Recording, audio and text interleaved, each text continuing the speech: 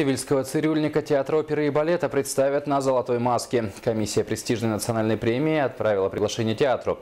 Напомним, что премьера спектакля прошла еще в марте и имела большой успех у якутского зрителя. Над постановкой оперы работала петербургский режиссер Сусанна Тюрюк и приглашенный дирижер, соотечественник автора произведения Александра Бичи.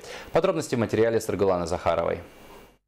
Действие происходит в итальянском городке Севилья. Граф Альмавива влюблен в Розину, однако на их пути встает опекун девушки, доктор Бартола, который мечтает взять жену молодую красавицу.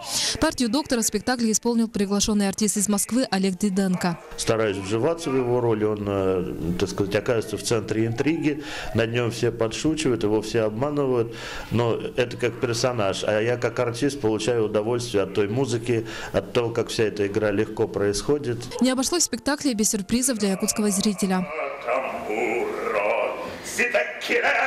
Сибирский цирюльник – это предыстория всемирно известной оперы «Фигаро». Хитроумный сват и делец Фигаро придумывает изощренный план, как свести молодых влюбленных.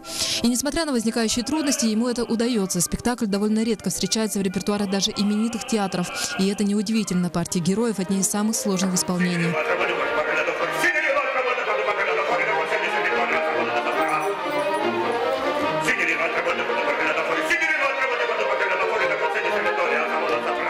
Исполнение отличается от привычной русской классики. Множество переливов и трелей делают его одновременно и сложным, и воздушным. Ну, оно должна быть более легкой, э, более такой светлой. Тут игривая, там, смешливая. Характерна легкость и для оркестра, как отметил дирижер Александро Бичи, он постарался максимально передать дух и настроение Италии. Это итальянская музыка, старая, э, другие стиль, другие традиции, другие, другой звук вообще. И это, в оркестре я очень рад, потому что получили э, хороший результат. Премьера спектакля в Якутске прошла в марте, однако тогда он был еще не совсем готов, отмечает в руководстве театра. Теперь же постановка предстала перед зрителем во всей красе, со всеми декорациями и световым сопровождением. Этот э, вариант, он будет уже более уже окончательный, а, более такой подготовленный в плане сценографии.